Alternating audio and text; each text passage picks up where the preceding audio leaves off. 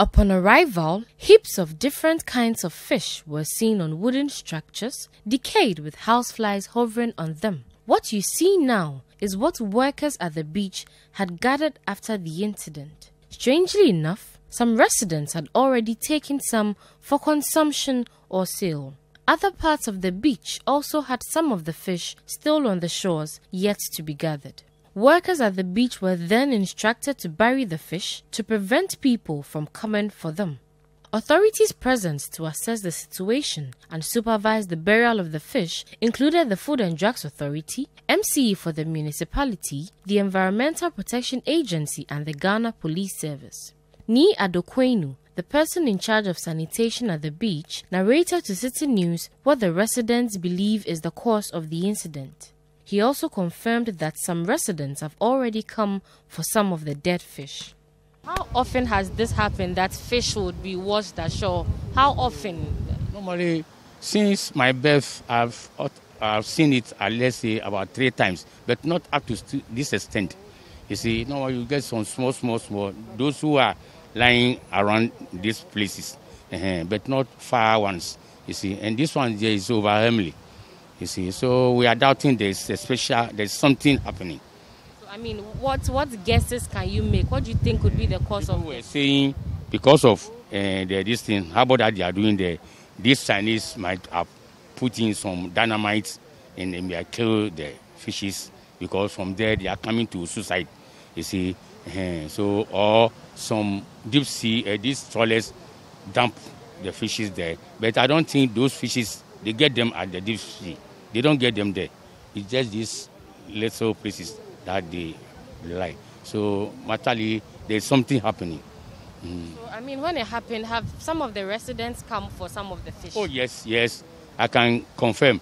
Yesterday, when the MCE was here with the chief fisherman, one of the boys said, he said, listen, he's a plumber.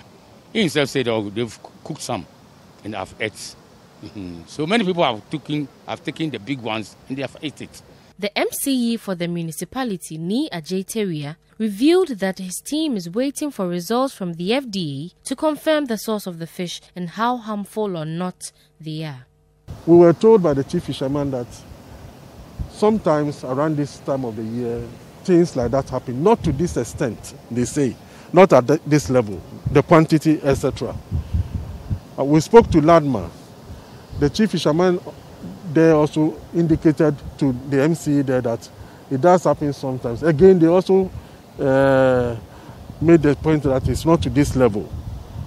But on the Saturday, the, once it was continuing, we realized that there's a problem. So uh, Vance went out to announce that people should not be buying and people should not be eating, and also we stopped it from going to the uh, to the town. So by and large, we have buried most of them. We have buried most of them, and we have enough for samples for testing to see what has happened. So for now, because we have the security agents also supporting the president's initiative to stop people from coming to see, we've been able to stop people from uh, taking them. So I'll say it is okay for now until we get the test from the relevant authorities. Executive Director of the Environmental Protection Agency, Henry Kokofu, however, told Citi News it is absolutely critical that the fish are not consumed. We are relying on indigenous knowledge. If you've seen, we've contacted an opinion leader around who is uh, giving us more information and volunteering some others uh, that we cannot put on air now.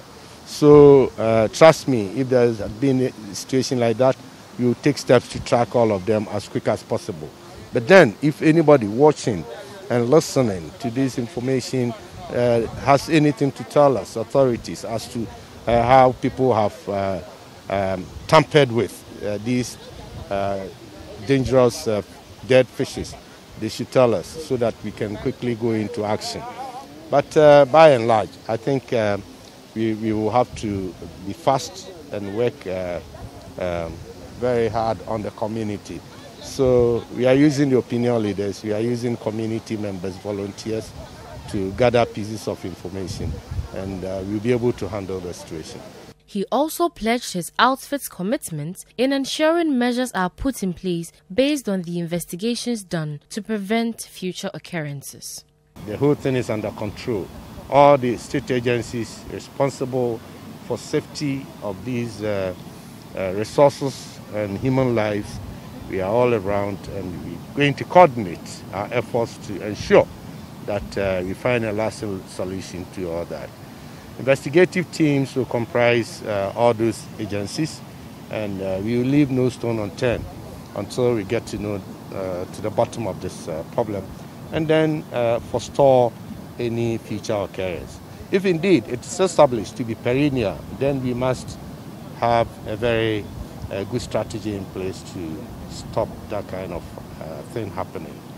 Meanwhile, the Fisheries Ministry says it is also conducting investigations to ascertain the cause of the incident. Now, even though the fish that were washed ashore are being buried to prevent residents of the community from coming for them for consumption or for sale, the authorities of the Korle Klottey Municipal Assembly are pleading on those who might probably have come for some of them to stop consumption as we do not know what has gone into the fish or what might happen if they consume them.